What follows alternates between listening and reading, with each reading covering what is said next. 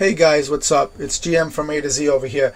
I just want to show you how to delete an operating system that either works or doesn't work, but it shows up on your splash screen. So in other words, when you boot Windows, you're going to get the option to start or boot from this operating system. Usually it's 30 seconds by default, and it's very annoying, especially when you try to install and you canceled it, it still st shows up in the master boot record. So there's a few ways to do it. One quick way to bypass it is if you go to my computer and you right click, go to properties, go to advanced system settings, and then go to where it says startup and recovery.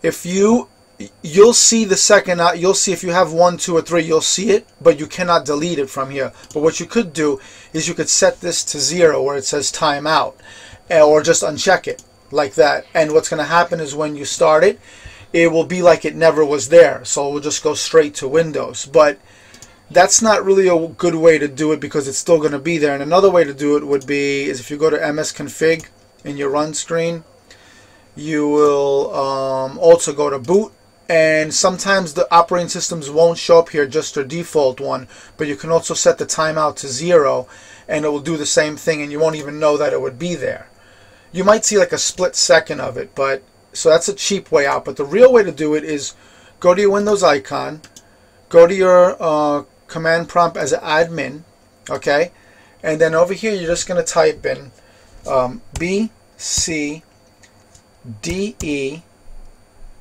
Uh, what is it? I think it's D I T. Yeah, okay, and that's going to give you there it is. So this is going to give you what your uh, operating system is. See, Windows Boot Manager. It's going to tell you what the identifier is. And under here, bootloader is going to show you your identifier, the current, and right now it's Windows 10. I don't have an operating system, a second one on here. I already deleted it. But I'm going to show you if you did have one, it would show up under the bootloader. It would show up like another whole row of it, and it would say your current. So what you want to do here to delete that is you just want to go in and type in the same thing again. So that's B C D E D I T space forward slash delete. And then what you're going to do here is you're going to go put in one of these curlies. You see the number right here? This whole number? Obviously, that's for my Windows 10, so you don't want to uh, put that in. But let's say you had another identifier. Let's say I had Windows 7. Underneath this, it would have a number for Windows 7. So you want to type in this whole number with the curly braces, just like the way it is inside here with all the dashes, okay? And then obviously you press return.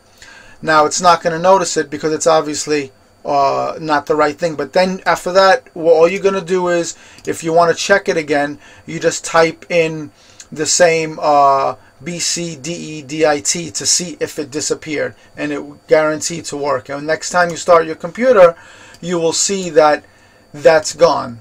And that's it. There you go. So that's a quick way to get rid of an operating system um, that either is corrupted, doesn't work, or you just don't want it no more to delete from your splash screen. Hope you enjoyed the video. If you like, press like.